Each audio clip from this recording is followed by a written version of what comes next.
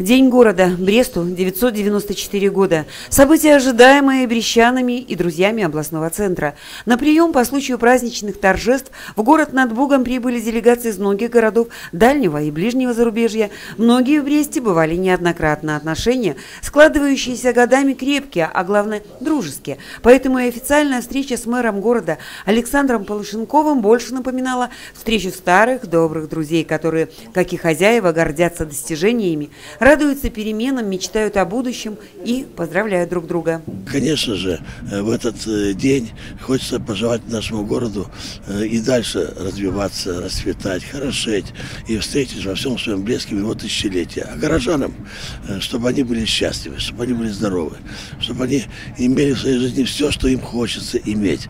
И никогда их ничего не омрачали печали, а только радостная улыбка была на лицах наших брещан.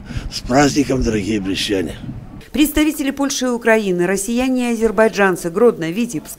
Каждый выступающий от своей делегации говорил о несомненном процветании Бреста сегодня. Один из старейших белорусских городов, без преувеличения, один из красивейших Беларуси, европейский, с высокой культурой и развитой инфраструктурой. Вугар Сафаров, глава исполнительной власти города-побратима Нахчеван, отметил, что отношения двух городов лишь начинают набирать обороты, но с такого города, как Брест, можно и нужно брать пример. Первый раз я в Бресте.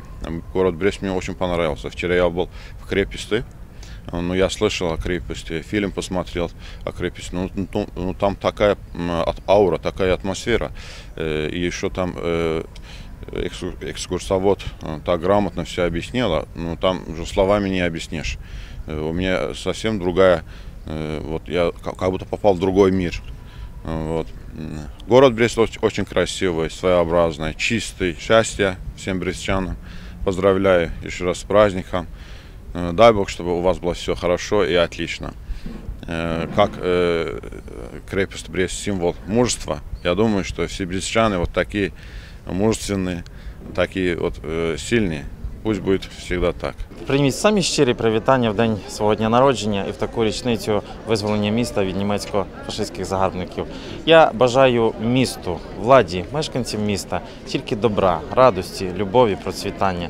Наші тісні відносини я хочу, щоб переростали практичну площину. Є така добра ідея зробити дні Бреста Івано-Франківську і дні Івано-Франківського в місті Брест. Ми над цим попрацюємо і втілимо практичну площину. Соседи из польского города Люблина и в шутку, и всерьез отмечают, что встречи и знакомства уже давно перешагнули черту официальности, поскольку десятилетия дипломатических, торговых и культурных взаимоотношений позволили стать не просто соседями и партнерами, но и верными друзьями.